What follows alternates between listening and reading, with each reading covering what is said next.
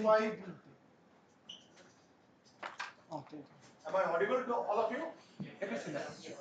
Okay. Yeah. So, uh, this is my uh, third visit to Nepal. Uh, third WordCamp, in fact. Uh, first being the Bharatpur, second was Butwal, and uh, this is Kathmandu. So I'm always very excited to come down to, Kathmandu, uh, to Nepal uh, as this is a happy hunting ground for me and I, I always feel very warm and uh, excited being here. So uh, right towards the towards my topic, this is a very uh, interesting topic uh, which I'm going to present to you today morning. Uh, it's uh, how the pandemic has affected since last two years and set up a new trend in content writing in 2022 and going ahead. So, so all of you have, all of us have been struck by the uh, pandemic very badly, and you know, the like every single human being has been stuck by the by the normal flow of pandemic and their, their life has been disrupted.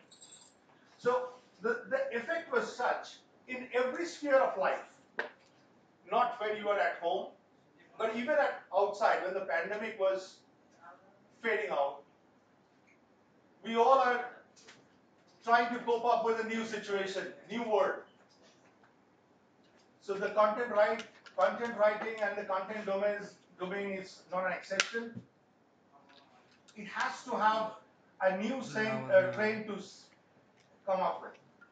So, why things will be radically different in our planet?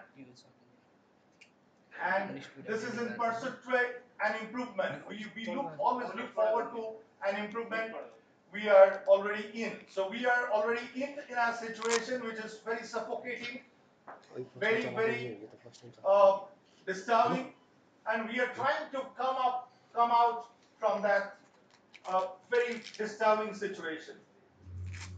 So now, during the pandemic, a lot of rules have swung here and there. Like, we were not at all complacent with the limited gathering we had to. There were travel restrictions. There were hygiene requirements, huge hygiene requirements. Every time, uh, time and again, we are just using, you know, sanitizer. Going back home, we are changing clothes, keeping it aside. The, the, your shoes are being kept outside. So, so very, very tough restrictions with which we are not at all, uh, you know, uh, familiar with. Protecting vulnerable groups. So we, we, we don't, uh, we try to hesitate to go to the marketplaces. People were a lot of crowd there, uh, there. So now, based on these things, the, the behavior will also swing. So we have started doing remote working, mixed work-life balance. So we are constantly trying to, you know, work-life balance at home. So we have already done that during those two years. I'm just trying to give you a flow of how the change of train has come up with. So that is why I'm just going back to pandemic, giving you a, an idea, just reminding you what we have come through, and then I will gradually take you to the path of the change trendsetter uh, thing. So, so access to a e-commerce and logistics. We always dependent on, you know, e-commerce things. Sitting at home, we look for, uh, you know, home delivery through e-commerce. We we avoided to go out. We couldn't.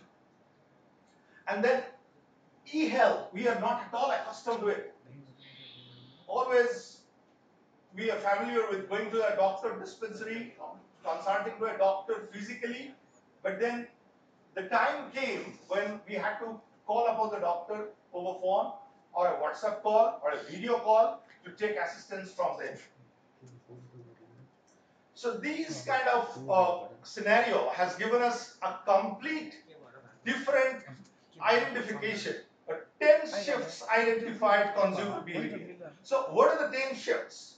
What are the 10 highlighted shifts from the normal scenario of lifestyle that has happened? So here it is. Additional anxiety, psychological anxiety has been developed. We were not like that, but we had developed a kind of anxiety. Optimized work from home arrangements. We have internet, we have WhatsApp, we have too many call setups, we have uh, more than one uh, you know desktop, laptop, all are open. So you have the office in your home. That that was an arranged setup for you because this is the a complete different scenario under pandemic. So it is your home, it is your office, it is your whatnot. So we are in a different uh, situation which the world has offered us. So taking a delivery to your house. You you are either taking uh, some delivery at your house or you are sending out some delivery to your friend's house, relatives' house by virtue of Amazon and uh, or whatnot. I mean, in your country, in Nepal, in there, there may be so many options. We uh, had it in India. There are a lot of options. So we we dependent highly on e-commerce. So by while sending out to uh, somebody's place, some friend's place, relative's place, what, and we are getting the same thing at our home as well. So a damaged faith product, product, product and consumer hygiene. So the, the, the time has come when uh, we had to develop a kind of, uh, you know, uh, we were not sure whether this thing has somebody has delivered and how much hygiene they have kept maintained for that particular delivery. So then, at, at one point of time, you must be aware, you must have uh, uh, that in mind, that at that certain point of time, the, all the consumers have started giving you, you know, the temperature of the carrier, of the person who is delivering, the, the, the physical condition of that particular person, and the wrap up was, the entire wrapping of the uh, item was such that the hygiene is properly maintained. Otherwise, you can also reject it. So just just think of the situation when uh, we are strictly thinking of whether to take it or not, and it's a precarious situation. So so it's a conflict of tension was there because of this situation, and little interaction, little interaction at home as well. So as as soon as we are stepped into a different lifestyle, a different work culture.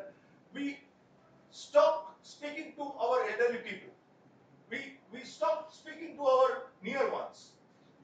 The, the normal conversation has come down to a level when you are only step to your either to your work or some kind of anxiety or some kind of you know disbelief developing within yourself.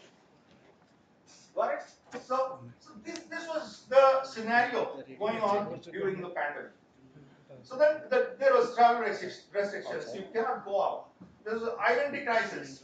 So these were the situations when we were going through.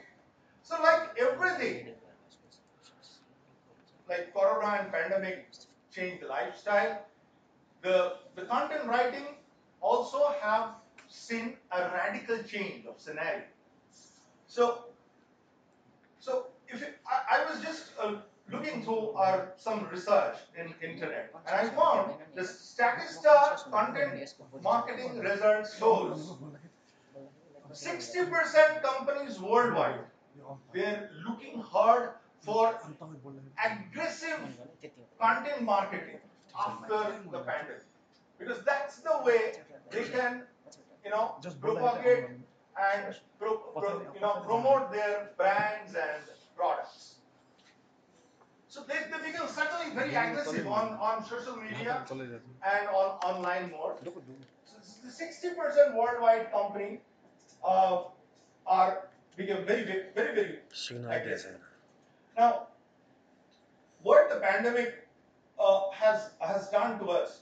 Now, of course, it is impossible to ignore the changes brought on by the pandemic. But what are the changes? Like this digital transformation efforts primarily have been accelerated by 50% by of by B2B and 46% by B2C business. Next is uh, the, now this, this uh, they have an uh, exhibit they exhibit a greater compassion, resilience, and empathy. And this is how you win over users. So the, the, all the companies are they, they're showing the three things. You know, they're trying to exhibit their empathy, the compassion, and the resilience to their users, so that that the, the, the users get interested about their product and the brand. And that's how they, they try to market their products. So now under the revised scenario, un, under the as, as the pandemic pandemic is getting over, we are coming out of uh, gradually coming out towards a normal scenario.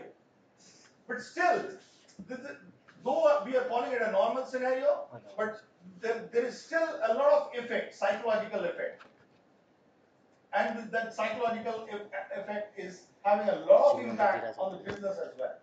So, so the companies have top priority for the users. So, what is the top, the, the top priority? Now, they, they are looking for real people to cater to, real users. When I'm saying real users, that means the, the people who will concentrate hard on their content and evaluate accordingly and have a go. So, the, the main points they are looking at is they are concentrating genuine and helpful content for their users. Genuine and relevant, short, crisp content. Number one. And number two, behind the scenes videos, employees' anecdotes, and how your brand established might boost their engagement. So these are the three things that they're concentrating on while preparing the content for the content marketing of that particular company. So what are the three things? These videos, employees' anecdotes, very, very, very important. Those who have, uh, who are already running the companies, they can just uh, keep a note that you have to come up with your success stories, the employees' anecdotes. Very, very important because that's how the users relate those stories. If you if you tell the success stories, your stories of failures, then people can relate with you. And when the people when people can relate with you, common users can relate with your business, your journey, your goal is action.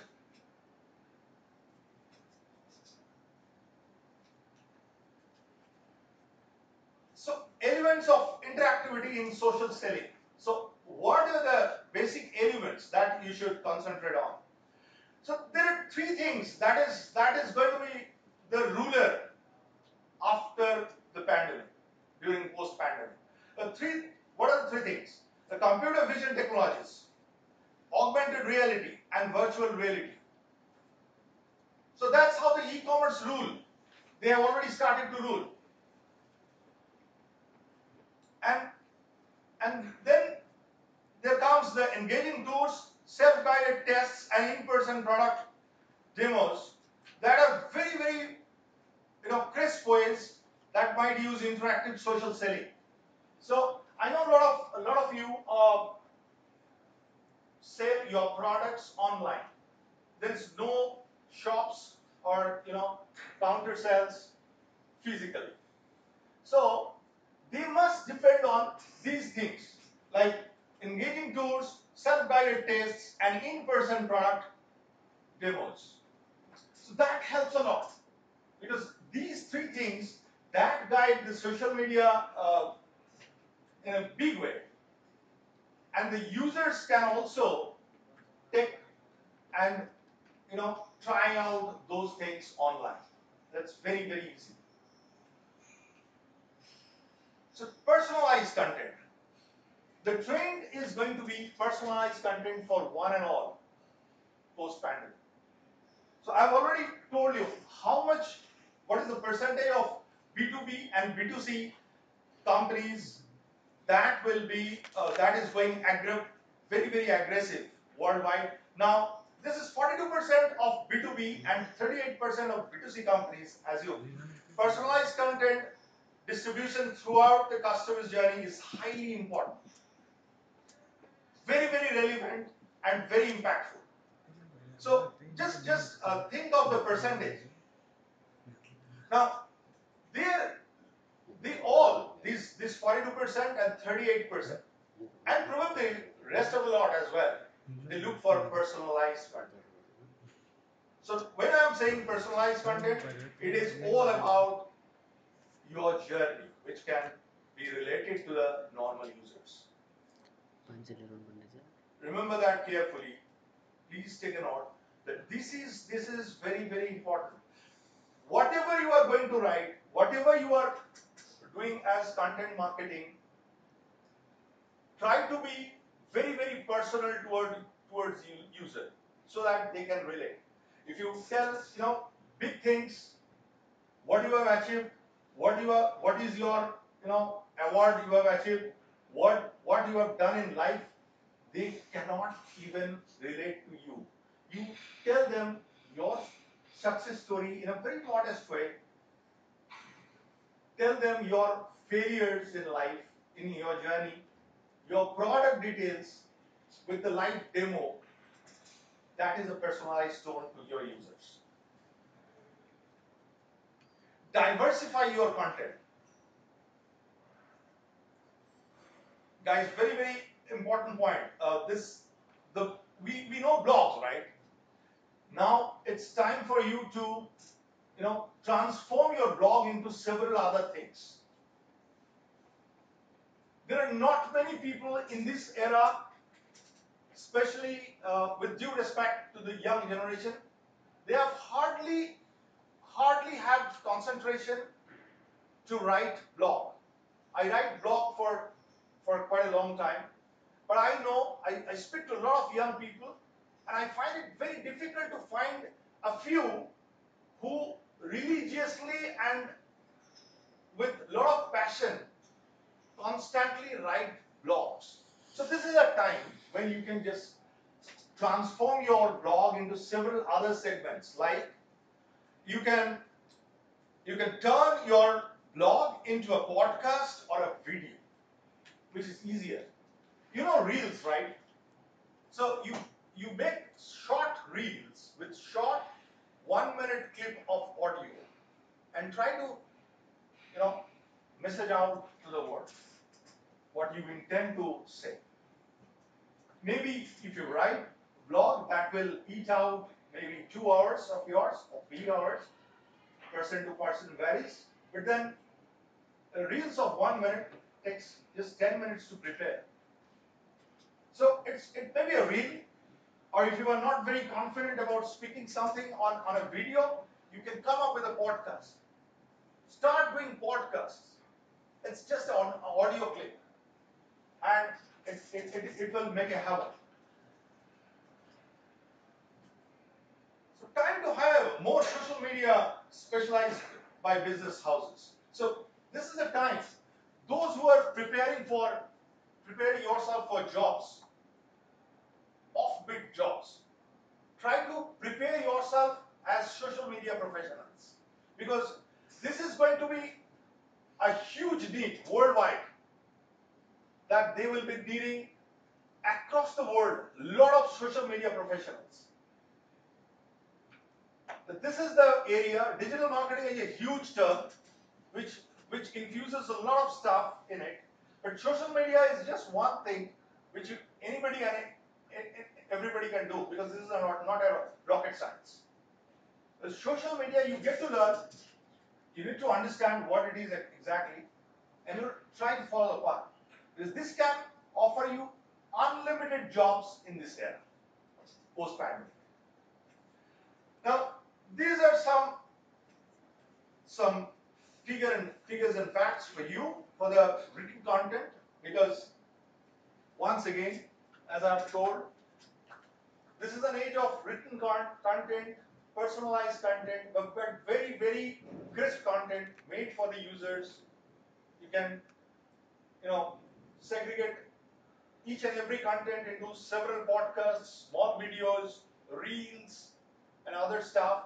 Make it a very short, crisp post in the social media, in Insta or Facebook. But then be very, very careful about what you are going to write, which can relate to the, whether it is going to relate to the customers or not, your users.